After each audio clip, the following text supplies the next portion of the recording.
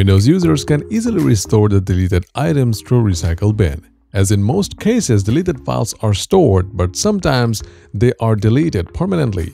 And now you have got your data permanently gone or the recycle bin is empty. Don't worry because in this video we'll teach you how to recover deleted files not in recycle bin.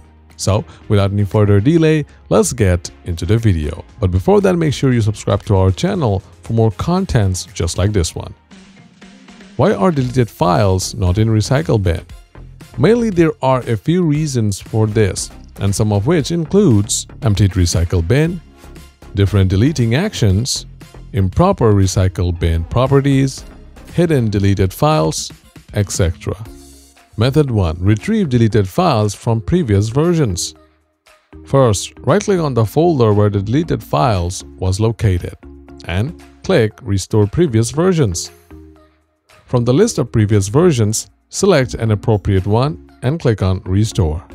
If the list is empty or the previous version option is not available, then follow the next method. Method 2. Restore deleted files from Windows Backup. For this method, click Start and click on Settings. Go to Update and Security and then click on Backup. In this section, choose Go to Backup and Restore option. Click on Restore My Files if there's any. The discussed methods aren't 100% working, as because you may have no backup or no previous versions were saved, so you need AnyRecover to restore the deleted files and data. AnyRecover is the one-stop solution to recover lost data on a PC or on a Mac and it also supports a full range of devices like HDD, SSD, SD cards, USB flash cards, etc. Along with that, it also supports more than 1000 file types which includes photos, videos, office documents, emails, audio files, etc.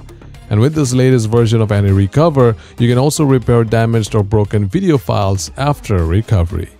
So check the video description to download this amazing recovery tool. After downloading and installing, run AnyRecover. Click on PC and hard drive recovery. Now click on Recycle Bin or choose a hard disk where you have deleted the files from. And AnyRecover will automatically scan your drive for all the files that were inside. After the scan, select the files that you want to recover and click on the blue Recover button. Select the location where you want to paste in your recovered files and you're done. Well, in this way, you can recover deleted files not in recycle bin.